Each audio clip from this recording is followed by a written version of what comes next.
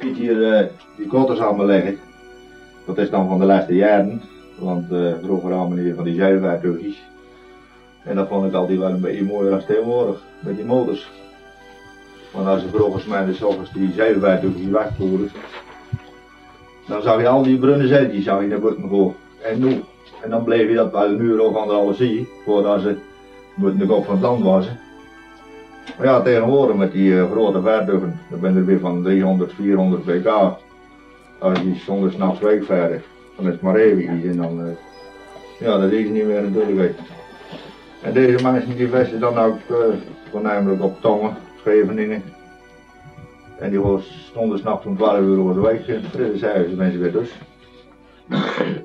maar vroeger dan die zeilvaartuigjes, die vesten op die want die was afhankelijk natuurlijk van de wind en van de stroom en zo.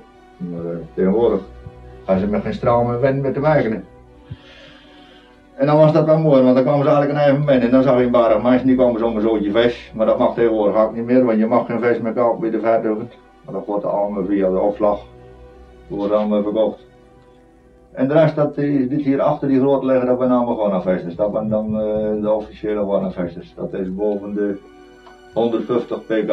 Meer mag het niet aan pk's hebben. Zeervesterie dat mag tot uh, eh, 1000 pk, maar de Ghana-vesterie dat mag niet hoger dan 150 pk. Dat is vastgesteld door het productschap van VCVS producten in Den Haag. Daar is ook een verordening van. En die mensen die gewoon uh, op de J, hoe dat je valt, voor ze weg. Als je nog s'nachts om drie uur gaan is, dan wordt ze om één uur weg. En dan ben je smetten om uur half twee weer binnen. Dan wordt die Ronna die wordt zeeft, hier op een zeven. En dan wordt ze wogen. En dan uh, doet de mengmeester die doet de handelaarsbarren. Dat ben voornamelijk allemaal Stellendammers. De jager, de Jans, de Kar, de Keizer. En die gaan bij die mengklokken staan. En dan wordt ze verkocht. En wie dan drukt, en dat cijfer dat komt in die mengklokken die heisen. Voor elk aannemelijk wordt. Dus elke dag is dat markt, elke dag prijzen. Je kan nooit zeggen van daar is een of twee kwartjes. Maar de minimumprijs van de garnalen, dat is 70 cent. De van de hornet. En uh, als je er nog onder komt, dan uh, mag het niet verkocht worden. Dan wordt er een, uh, een rode poeier overheen, dat is zo'n, ja, ik weet niet hoe dat wel heet, maar dat was, ja, dat was vernietigd. En dan was er voor de veervoer was er gedraafd en de paarderie van de jager of Jansen. En de rest die wordt uh. Die worden hier gewoon op Oudorp en op dan worden die overpeld en die worden dan eerst naar België en Frankrijk.